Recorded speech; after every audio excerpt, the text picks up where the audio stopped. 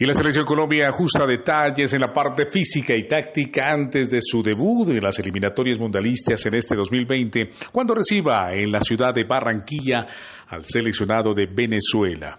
Los dirigidos por Carlos Queiroz, con mucha emotividad, con mucha expectativa y con el acompañamiento precisamente de todos los colombianos de corazón, aspira a sacar un resultado positivo en el arranque de este camino rumbo a Qatar 2022 trabajar en una selección para calificar porque todo es diferente, inclusive eh, jugar sin público. Nunca me ha pasado por, por la cabeza hacer una partidos de Sudamérica, de la calificación para la Copa del Mundo sin, sin público. Pero esa es la realidad y nosotros estamos aquí para encontrar soluciones para el fútbol seguir adelante eh, y estar cerca de los hinchas, que es lo, lo, más importante. Novedades importantes como la no presencia de Ospina en el pórtico del seleccionado colombiano y la presencia de Montero o Camilo Vargas, que se estará determinando en estos días, son los hechos más importantes dentro del seleccionado colombiano.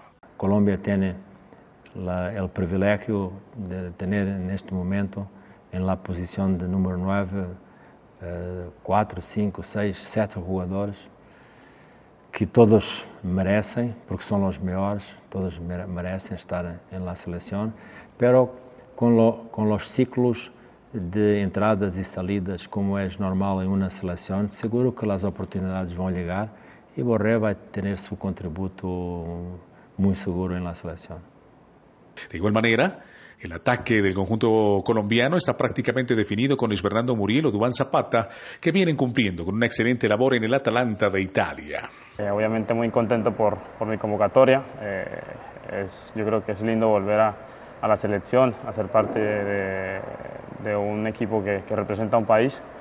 Y bueno, todos sabemos lo que significa eso. Eh, luego viene lo de haber entrenado en, casa propia, sé lo que es entrenar en, otros campos que no son, no son de la selección, de la federación, y yo creo que era meritorio, ¿no? Para todo, el, todo lo que significa la selección, todo el prestigio que se ha ganado. Ahora entrenar en, la Ciudad Deportiva Nueva eh, creo que es un plus más, eh, es un avance bastante, bastante claro y esperemos aprovecharlo de la mejor forma. Y feliz y contento por, por este llamado, por esta convocatoria. Eh, no lo esperaba y creo que cuando lo sorprenden a uno así de esa manera, es bonito y, y, a veces uno tiene, se le queda la sonrisa marcada, entonces bastante feliz por eso. Y, y con respecto a Barranquilla, eh, también es esa sensación de, la gente, de este ambiente que, que, se vive, es bonito, pero creo que eh, estamos en un momento donde nosotros como profesionales debemos eh, caer en cuenta que, que, no, que es una, una parte atípica de, de la vida, de este, de este momento duro que nos está tocando vivir y nos toca acomodarnos a eso. Pues obviamente a todos nos gustaría eh, que estuviera el estadio lleno, el ambiente de Barranquilla, eh, esa alegría que, que caracteriza esta ciudad, pero como profesionales debemos adaptarnos rápidamente y, y hacer las cosas de la mejor manera.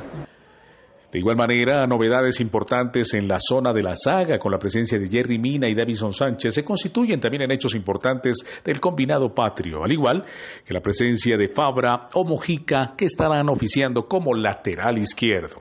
Somos futbolistas profesionales, por algo pues eh, eh, estamos cumpliendo el, sueño de estar aquí en la selección, debemos acoplarnos rápido al sistema que, que nos imponga.